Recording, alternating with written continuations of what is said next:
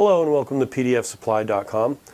Today we're testing an IC697 BEM731, which I have powered up in a rack here. The rack is an IC697 CHS750 five slot rack, which is empty otherwise. And I'm using an IC697 CPX 928 processor and a power supply, which is an IC697 PWR 711. So a couple things. What I'm doing here is I have uh, two tests to do with this device. And what I'm going to do is I'm going to start in Proficy Machine Edition, which is connected. And what I want to do is I'm going to open up a blank test file. I'm going to go to main rack and select uh, the CHS 750 rack and put the same configuration physically that you see here into the software. Slot number two, I'm choosing an IC697 BEM731. And when I do that, there's a device that drops, there's a, what you want to do is right click on slot number two. A window will pop up and you want to go to add Genius device. Uh, serial bus address 1 is what it's going to ask you first. That's fine. You use 1. And then there's a block catalog that pops up. We're going to use, just for argument's sake, I have here a IC660 BBR 101 uh, Genius block. I'm going to select that, hit OK. So then once that's selected, I'm going to go to Target, Online Commands. I'm going to hit Clear. And I'm going to clear controller fault table and I.O. fault table. Those are the only two that you want to do because we're just asking the processor to do something different than it was doing before. So hit OK. And then I'm going to hit download and run. When it asks me what exactly I want to download and run, in just a second here, I'm going to select configuration and logic. So hardware configuration and logic, the top two choices. And don't, don't click anything else. We don't want to write this permanent flash memory and OK.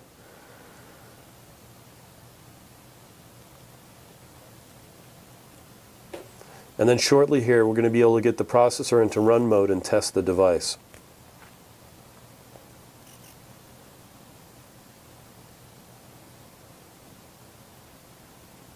All right. Okay, so once we're in run mode on the processor, we're also going to have channel 1 will say OK if this is a working device.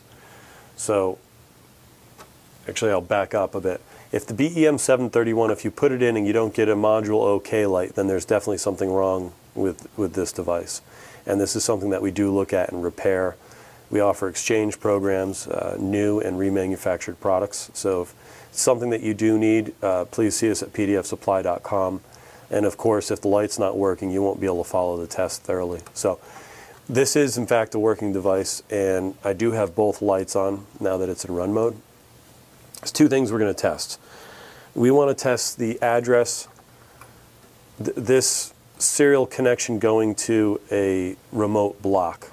And as I said before, I have a BBR 101 plugged in. This serial exit is going to the serial 1 and 2 from 1 and 2 on the controller to 1 and 2 on the Genius Block device.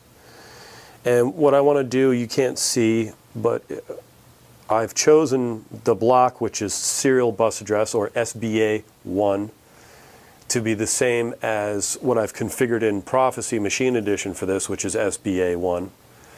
And I've also configured it to be a BBR 101. So all those things match. And when I go into run mode, if the block is powered up and the block is at serial bus address number one, what I should get on the block is a um, I.O. enabled light on, which I do. So that means that I'm able to communicate to a Genius block using this channel one here. That's very important. That's the number one thing that you want to be able to do with this BEM. Number two is the handheld monitor to be able to go in here and, and monitor. And there's a simple way to test that. I have here an IC660 Genius HHM 501. So it's an IC 660 501 uh, HHM 501 uh, handheld monitor. So I'm going to go ahead and plug this in securely. And then if you look on the monitor, I'm going to turn it on. What I want to do is hit OK, analyze, F2, and then F3, block bus status. Okay, so now I have uh, bus address 31, which is the device we have here, version 5.5. This is telling me that this is a communicating working device. That's how I know, all right, that this port is working. So now we've tested both ports. So uh, in the event, and this is what it'll look like, in the event that we plug in and nothing comes up, it will look like this. So uh, we have the handheld monitor, IC660, 660 HHM 501 configuration, excuse me, analyze F2, F3 block bus status. If that's not working, it will say searching bus and it'll keep searching because nothing is there if it isn't working. And that's how you'll know the difference. Same thing, if channel 1 isn't working and you have the configuration as serial bus address number 1 for your block and the and the block is a working block, then you can and you don't have an IO enabled light, then this isn't working. So there are times where these lights are working and telling you you have a perfect device, but these aren't working. Okay?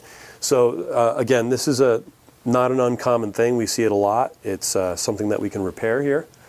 We offer exchange programs, keep in mind, uh, new and remanufactured products, and we offer same-day shipping. So uh, if you have a problem with it and you need one, please let us know, pdfsupply.com. Thank you.